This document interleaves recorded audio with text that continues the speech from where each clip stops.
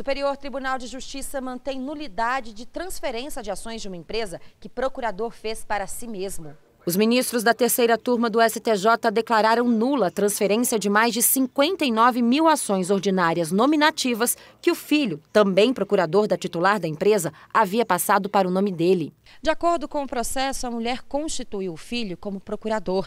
No documento, ela dava a ele poderes para representá-la em repartições públicas, prestar declarações e receber dinheiro em seu nome. Mas em 1993, o homem usou a procuração para transferir para o nome dele uma parte das ações da empresa.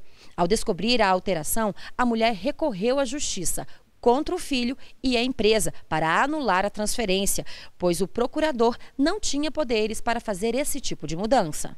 O Tribunal de Justiça do Rio Grande do Sul concluiu que o negócio foi feito desobedecendo as regras do Código Civil e declarou a nulidade da transferência.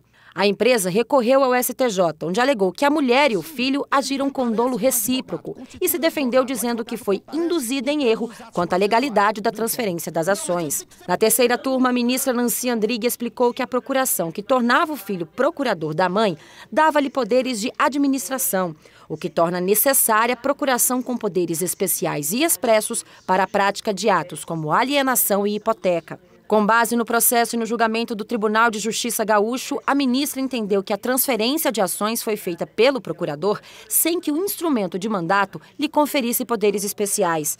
A ministra considerou ainda que a empresa agiu com descuido, pois nem sequer conferiu a documentação apresentada pelo procurador.